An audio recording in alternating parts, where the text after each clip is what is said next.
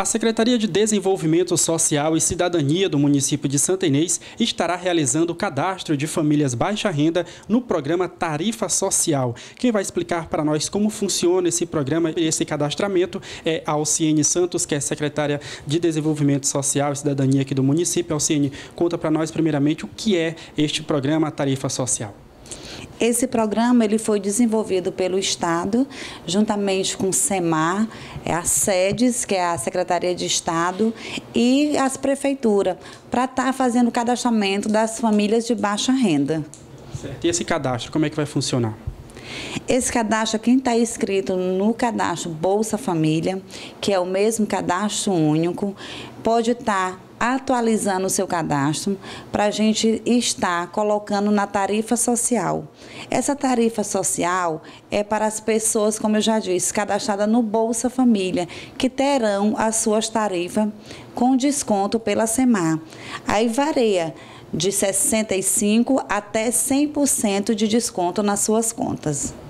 E primeiro dia desse cadastramento vai ser feito nas escolas, né? Algumas escolas da cidade. Né? Exatamente. O nosso primeiro dia vai ser na escola Humberto de Campos, que na Humberto de Campos nós vamos estar atendendo os bairros São Benedito, Seplac, Vila de Mundo Rio, Vila Parente, Residencial Esplanada e Vila Embratel.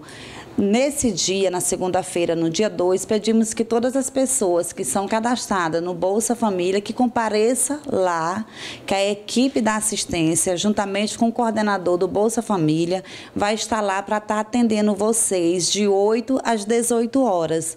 O que, que é necessário você estar levando?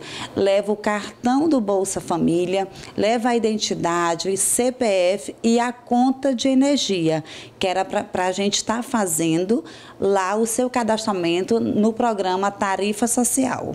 Alcine, por que a Secretaria decidiu levar esse cadastro para as escolas?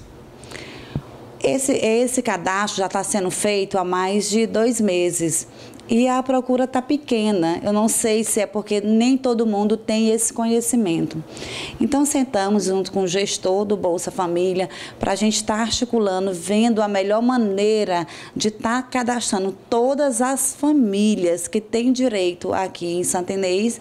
Então, a gente resolveu levar para as escolas e pegar todos os bairros vizinhos para a gente estar tá fazendo esse cadastro lá na escola. Esse programa é importante porque dá um bom desconto na conta de energia, né?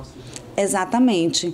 Como eu já falei, ele varia o desconto de 65% a 100%. Isso, quando você for fazer o seu cadastro, o coordenador vai estar lhe explicando de acordo com o seu consumo de energia. Quando ele olhar a sua conta, ele já vai estar lhe orientando e lhe falando qual o desconto que você vai ter.